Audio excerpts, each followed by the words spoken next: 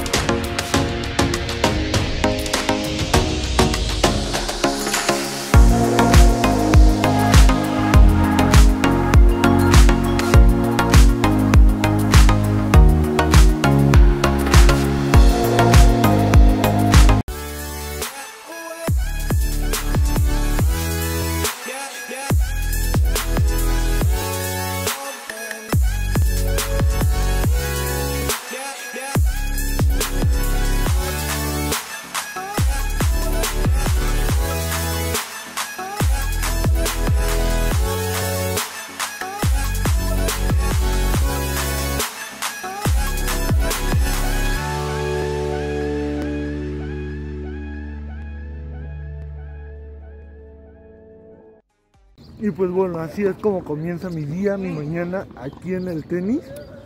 Y pues bueno, estoy haciendo foto la fotografía, estoy viendo qué se puede sacar. Y la verdad pues creo que se pueden hacer. Se están haciendo fotos muy chidas. Este es mi segundo día. Vamos a ver el cuarto, el tercero, cuarto, quinto día a ver qué tal me va. ¿Sale? Pues vamos a la foto de tenis y a ver qué onda, qué show.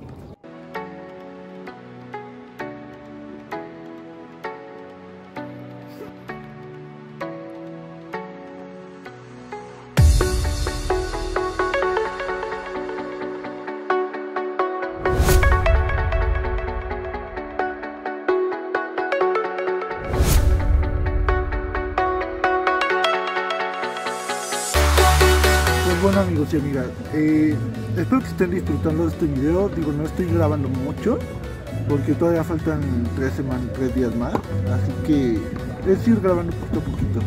Ya tengo un chingo de fotos, ya ayer hice un buen, ya hoy hice más. Gracias a Dios creo que ya hay más interesados el, segundo día. Y pues eso es, eso es lo principal, ¿no? Tener interés de las personas y pues que se vayan sumando más, ¿no? Pero bueno, hasta ahorita vamos chido, vamos bien, vamos cool y pues no está fallando nada. Ahorita estoy haciendo fotos a niños, que no los voy a mostrar ahorita. Pero van tomas muy chidas, van tomas muy cool y así, ¿va? Este es el contexto y el las canchas y todo el rollo. Y ahorita estoy aquí con la camarita y todo el rollo. ¿Va? Dale que estén disfrutando de este video. La verdad estoy emocionado porque es algo diferente a lo que acostumbro a hacer. Y la verdad está saliendo muy chido, está saliendo muy cool, tomas muy buenas. Y nada, siempre que se tiene que aprender experiencias nuevas y que mejor que, que animarte a vivirlo, ¿va? Que lo estén disfrutando. Nos vemos. A esto me refiero cuando digo esta es la foto. Esta, güey. O sea. ¿Sí o no? ¿Sí o no? Bueno, ahorita no se enfoca mucho. Ahí, ahí está. A esto me refiero cuando digo esta es la foto. Esta. Esta es la original, pero creo que la voy a recortar. Queda así. Ahí.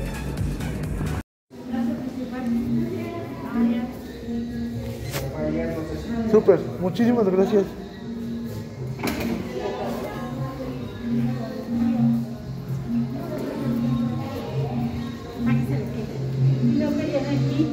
Buenos días. Bueno, estamos de nuevo aquí. Hoy va a ser un día muy frío. Y vamos a ver qué tal.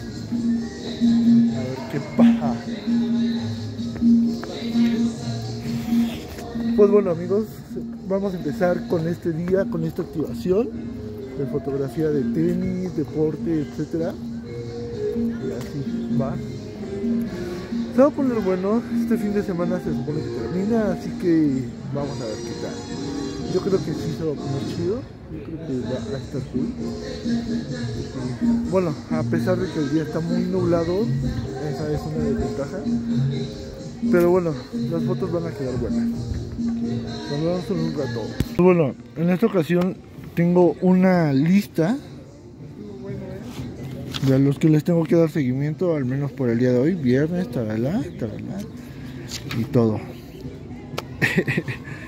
pues bueno, voy a utilizar, voy a utilizar mi telefoto, el 1855, para tomas amplias, estilo gran angular entre comillas, porque pues no, no va para gran angular, sería 16 milímetros, pero bueno. Voy a empezar con este para cada uno de los partidos. Ya verán las tomas que estoy planeando. Y con este pues para las tomas más cerradas de cada partido. La verdad pues vamos a empezar algo tranqui, a ver qué tal. Y así, va. Te extrañamos ayer, Un poquito de sueño, pero pues ya estamos aquí. A chambear. ¿Sale? Nos vemos en un ratito. Que sigan disfrutando de este video. Chao.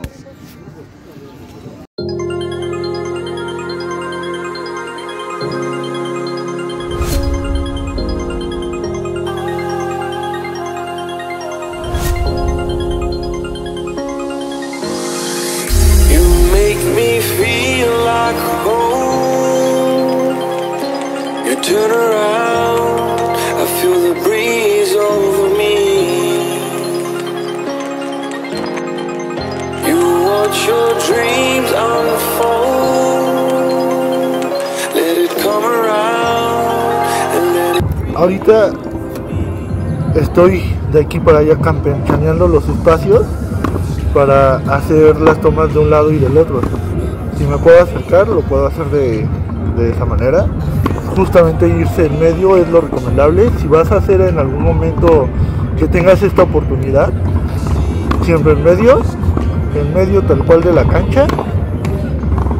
Pon tus 5, 10, 6 pasos hacia un lado y 5, 10 pasos hacia el otro. ¿Va? Y si te vas a ir a las puntas que son esas, atrás de las canchas, que quedan fotos muy buenas, que ahorita ya estarán ma- pasándolas, las estaré pasando. Les recomiendo siempre que tengan mucha precaución. Pueden recibir balona, pelotazos, ya no duelen. Ayer recibí uno acá y uno en la pierna. Pero bueno, es parte de. Tienes que tener mucha precaución en estar en las esquinas, atrásito de, los jugadores y tener mucho cuidado, ¿va? Esto como recomendación, pero las fotos que tomas de esos lados hacia la cancha, en dirección hacia la cancha, quedan muy buenas. Más cuando tienes un atardecer, las nubes y todo, quedan padrísimas. No me quedaron tan bien como yo esperaba, pero no estuvieron mal. Hasta cierto punto porque tienes que ir capturando el momento de cada uno de los jugadores. Capturar cuando van a, raquetear, van a pegarle a la pelota, cuando van a. están corriendo hacia la pelota y todo. Pero lo hace bien, lo hace bien. Y como siempre trabajo con el telefoto 55-200 para tener las tomas cercanas y alejadas. Y si hay ocasiones en que cambio el 1855, pues ya lo estuvieron viendo. Y pues nada, van quedando padres, van quedando muy chidas. Hay estos consejos, estos pequeños consejos que pueden servir para que en algún momento si haces cobertura de un torneo, ya sea de tenis, de fútbol, de americano, etcétera, tengas mucho cuidado con eso y logres conseguir las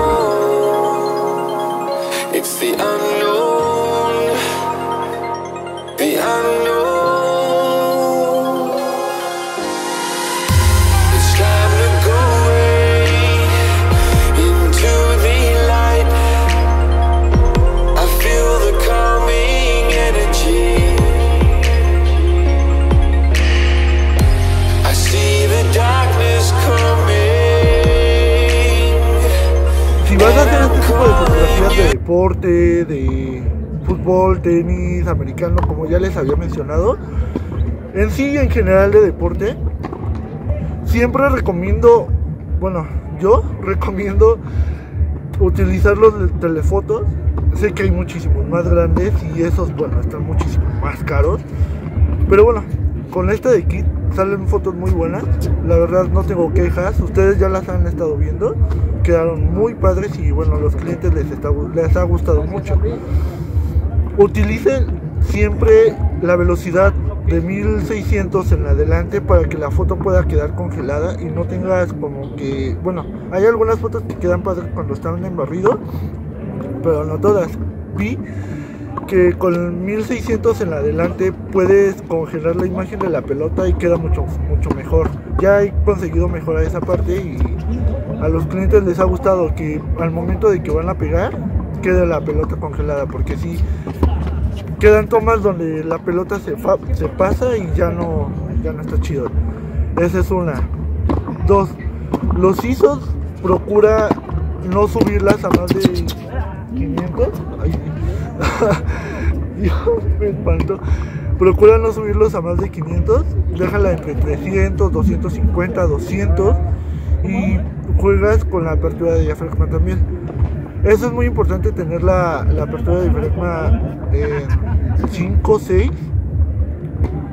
Por el mismo, por el motivo de que puedes hacer profundidad de campo muy bueno y bueno ya también de, depende de tu distancia vocal así que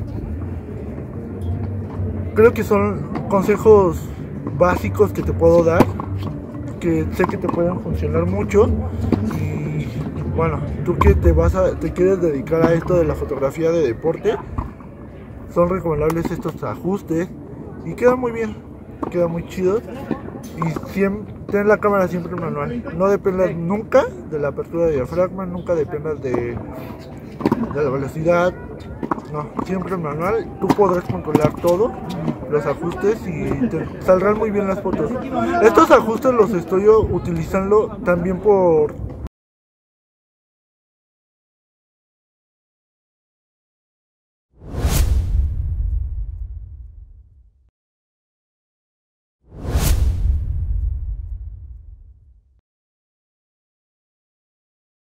Pues bueno, una cosita más. Las canchas tienen estos pasillos que terminan hasta allá y bueno, inician del otro lado, del lado contrario. Como recomendación, yo la primera vez que vine a, estas canchas, a estos torneos, a este torneo principalmente, me metí a las canchas, iba recorriendo todas las canchas por dentro. Para eso están estos pasillos, para recorrerlos si quieres ir hasta la última o quieres ir a la primera. Siempre recorre por, por estos pasillitos, no por allá. En primera, porque están jugando y aparte te pueden dar balonazos y, te van a doler. Una vez que te acostumbras ya no pasa nada, pero sí pueden llegar a doler. Precaución ante todo, amigos y amigas. Eh, y bueno, tienen sus respectivas puertas cada uno de, los, de las canchas. Tienen sus puertas y por ello no hay tanto tema. Porque se puede. Puedes evitar accidentes, puedes evitar interrumpir y puedes llegar mucho mejor, mucho más tranquilo a las canchas que quieres llegar. ¿Va? Chao, chao.